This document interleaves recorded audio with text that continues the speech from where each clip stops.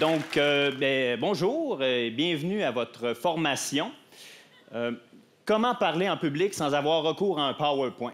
Parce que voyez-vous, moi, je suis un expert en communication, donc juste à me suivre, puis ça va bien aller, OK? Parce que, bon, les désavantages d'une présentation PowerPoint, il y en a quelques-unes. Premièrement, euh, ben, c'est laid. Euh, c'est pas pertinent. C'est répétitif. C'est laid. Euh, bon, chose à savoir, 90% des PowerPoint ne servent à rien. Le 10% qui reste non plus. Personne ne croit que des listes avec des points, c'est efficace. Il faut éviter les énumérations, sinon pas plus de quatre points. Éviter l'ironie. Euh, gardez une cohérence dans la mise en page. Ne répétez pas les mêmes erreurs. Changez de diapositive lorsque la page est surchargée. Surtout, évitez les diapositives qui sont inutiles. E. S. Point. C'est comme moi, par exemple, jamais je viendrai ici pour vous montrer une photo de l'arrière de mon micro-ondes, par exemple. Ce serait vraiment pas pertinent et ce serait vraiment inutile. E. Point. Pas de S.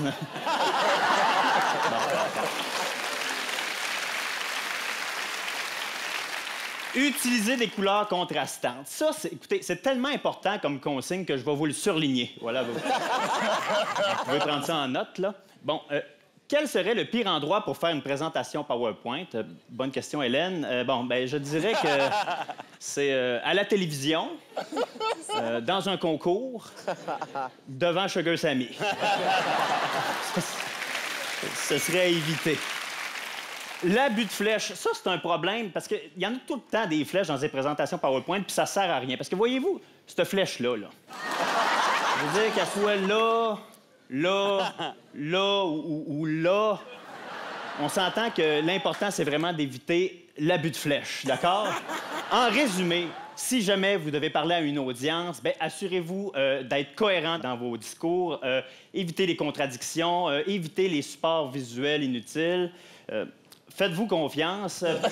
Autrement dit, comment je dirais bien ça? gardez ça simple.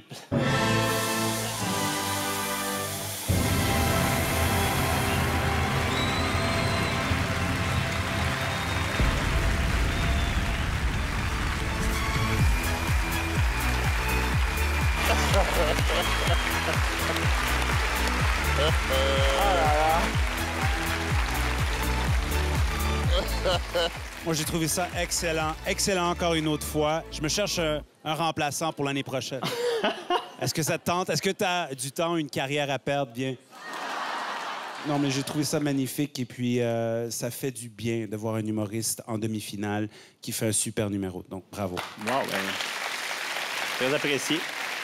Ça fait du bien, mais pour moi, ce n'est pas tant un incroyable talent que ça. C'est-à-dire que je remets en perspective dans l'émission et dans la demi-finale. J'ai passé un super moment, ça m'a fait rire aussi, mais je ne trouve pas que ça soit un incroyable talent. J'ai préféré, moi, la première euh, participation euh, de Jean-Michel. Ça, c'est une bonne idée, c'est une bonne astuce, c'est une bonne trouvaille. Est-ce que ça suffit pour une demi-finale? Moi, je me pose la question. Si tu me poses la question, oui, mais ça, ça dépend. Là. Il est fort, il est fort, il est très fort, il est très fort. Je suis pas d'accord, Marianne. Je suis pas d'accord. Je, je vais Moi te non dire plus. pourquoi. Parce que là, ce qu'il fait, là, là, il est dans l'ennemi de la comédie. Et je pense qu'Eric et, et- et Sugar Sammy diront la même chose que moi. Là, ce plateau, les gens sont à 10 mètres de lui. Vous voyez peut-être pas à la télévision. Il est tout seul. Il y a des gens sur les côtés, comme ça. Il est là, il tient son numéro jusqu'au bout. Il rigole pas, il avance, c'est efficace. Vous écrivez seul, monsieur? Oui, bien sûr. Il écrit seul en plus. Qui est un excellent argument. Ben, avec mon ordinateur, mais quand Ouais, même. Il est assis- Sincèrement, bravo.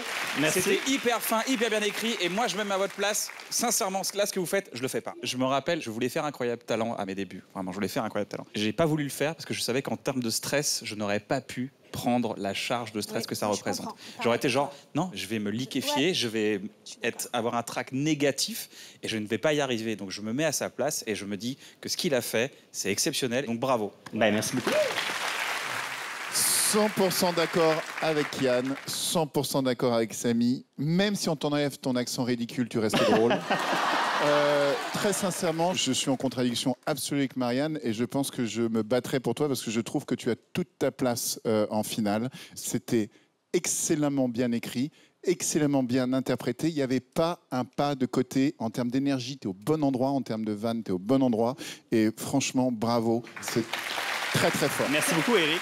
Moi, je vais saluer ce nouveau sketch sans gros mots. Et euh, on sait que c'est un métier très difficile de faire rire. On sait que avoir un rire toutes les, c'est toutes les combien? En théorie, ça se fait aux 6 secondes. Toutes les 16 secondes, tu dois nous faire rire. Eh ben, c'est mieux que des antidépresseurs, donc bienvenue. Ah, ben, mais. Wow. On se retrouve pour la délibération, Jean-Michel. Félicitations, Jean-Michel. Félicitations. Une heure, une heure de ça. Justement, il trouvera la variété. Je suis sûr qu'il trouvera la variété parce qu'il est hyper intelligent.